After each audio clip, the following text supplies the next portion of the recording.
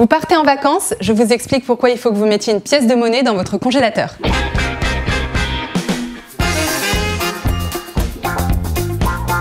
Des aliments qui se décongèlent et recongèlent pendant votre absence, ça peut arriver.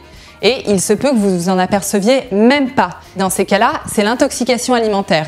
Ce que je vous conseille, c'est pour le vérifier, de verser de l'eau dans un bol, de le mettre au congélateur, d'attendre que l'eau congèle, et dans ce cas, vous déposez une pièce de monnaie à la surface que vous mettez dans votre congélateur pendant vos vacances. Si à votre retour, la pièce est emprisonnée dans la glace, c'est qu'il y a eu une coupure de courant. S'il n'y a plus de pièces, c'est qu'une petite souris est passée.